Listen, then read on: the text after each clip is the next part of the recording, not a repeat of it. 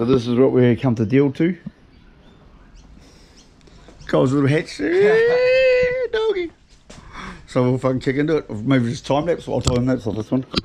Either one. Hmm. There's a car in there. Is there even a car? I don't know. It looks like a storage shop. It's gonna take us chase half the day just to clean the shit out of it. Alright. I'll get into it. Let's not fuck around. And then just roll the shit out of it.